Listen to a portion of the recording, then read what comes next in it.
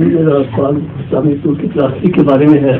اس کا نام صاحب نے اسلامی کی کیوں رکھا ہے؟ جبکہ تو کیا آپ تجویز کرتے ہیں؟ ہے۔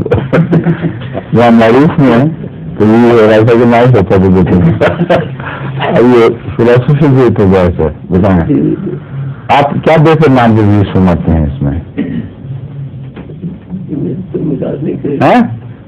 کی طرف سے تلقا ہوا سارا مضمون پہ۔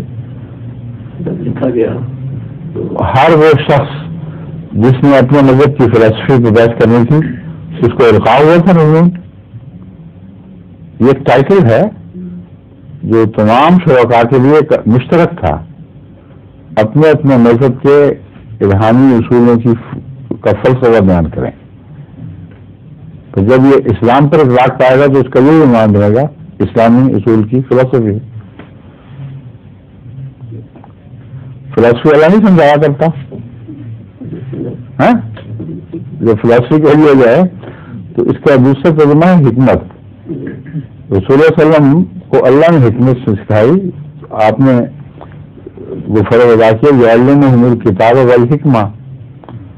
اور قرآن کریم بار بار نبی کے متعلق فرماتا ہے کہ ہم نے ان کو حکمت دی۔ تو حکمت اللہ تعالیٰ سے آتی ہے۔ فلسفی بھی حضرت مسیم علیہ السلام کے تعلق میں اللہ سے اتری تھی تو آپ نے بیان فرمائی۔ ٹھیک ہے؟